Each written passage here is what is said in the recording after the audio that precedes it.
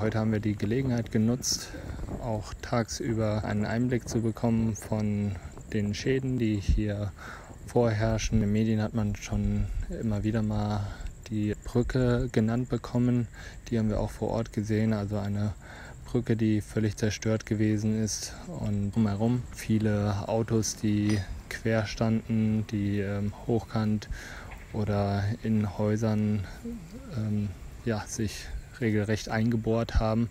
In der Stadt selbst, außerhalb vom ja, Tsunami-Einzugsgebiet, waren die Schäden äh, sehr unterschiedlich. Also es gab Häuser, die ähm, völlig zusammengebrochen waren, äh, neben denen aber auch Häuser noch ähm, völlig stabil standen, was mit Sicherheit dann auch mit der Architektur zu, zu tun haben könnte.